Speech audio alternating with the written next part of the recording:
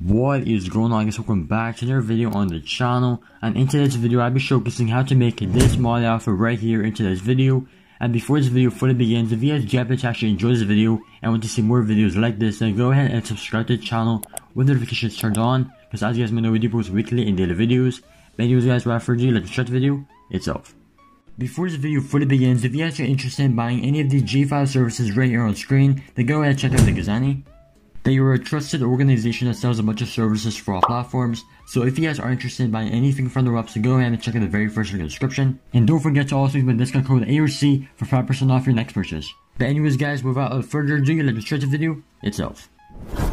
Okay yeah, so before we actually fully begin this video, make sure we already have black joggers on your outfits. So if you don't have black joggers guys, I will leave a video link down below on how to get black joggers after the latest update at 1.58.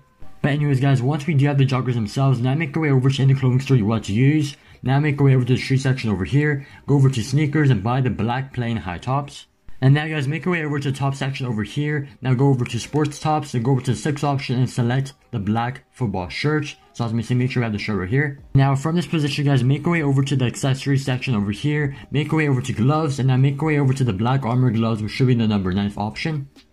And from this position, now make our way over to the interaction menu over here, make our way over to style, go over to accessories, go over to gear, and equip the rebreather mask over here.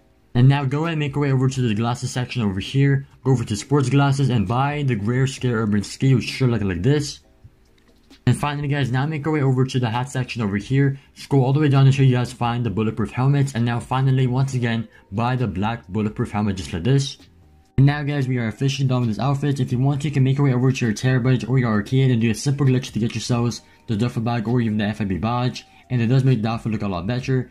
But anyways guys, that's all for today's video. If you guys have enjoyed this video and want to see more videos like this, then go ahead and leave a big fat like on it. And subscribe to the channel if you guys are new, because as you guys may know, we do post weekly and daily videos. But anyways guys, that's all for today. And I will see you on the next epic alleged video. Peace out.